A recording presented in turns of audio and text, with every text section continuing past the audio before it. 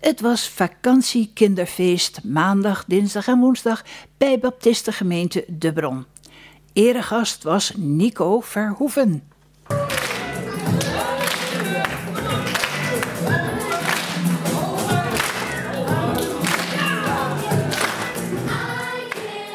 En wat vinden Jair en Levi ervan? Nou, ik vind het leuk. Je leert eh, kinderen kennen die je normaal niet ziet. En uh, ja, je leert God kennen.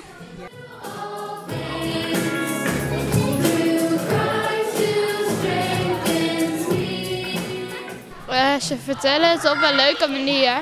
En uh, deze keer hebben we Nico Verhoeven als gast. Maar waar, waar ben ik broer van? De broer van? Ja. Wie is Nico Verhoeven dan? Dat is um, de broer van Rico Verhoeven.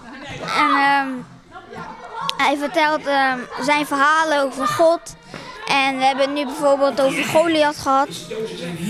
Ja, ja, ja. Jij bent niet zo heel goed in puzzelen. Oh ja, hier. Hebben we er nog één?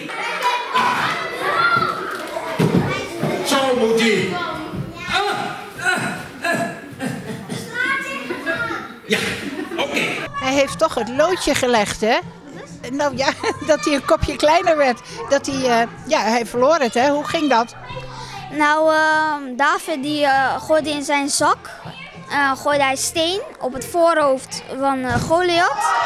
En toen ging hij op zijn knieën, viel hij naar voren. Toen kwam David met zijn zwaard en toen ging zijn hoofd eraf.